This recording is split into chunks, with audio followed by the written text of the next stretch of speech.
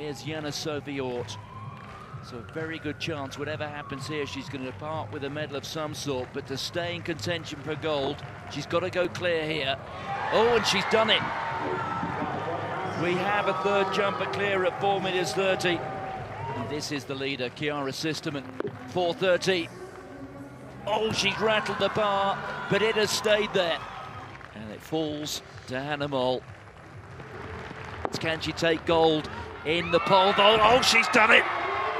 What a moment for her. With her third and final attempt at 4 metres and 35, Chiara Sistermann goes away with silver, two medals for Germany. But the title belongs to the United States and to the Moll family.